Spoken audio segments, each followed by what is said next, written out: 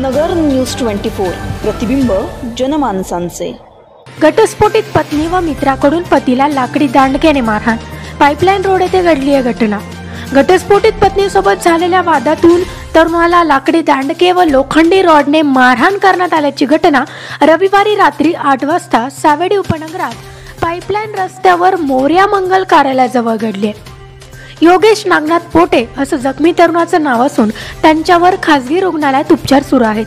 त्यांनी उपचारादरम्यान तोफखाना पोलिसांना दिलेल्या जबाबावरून त्यांची घटस्फोटित पत्नी गौरी भगवान वैराळ तिचा भाऊ सुवेंद्र भगवान वैराळ प्रवीण पाल व एक अनोळखी इसम यांच्या विरुद्ध गुन्हा दाखल करण्यात आलाय.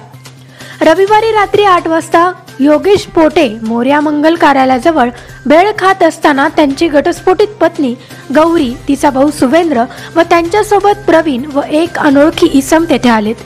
त्यांचे व योगेश यांचे वाद झाले.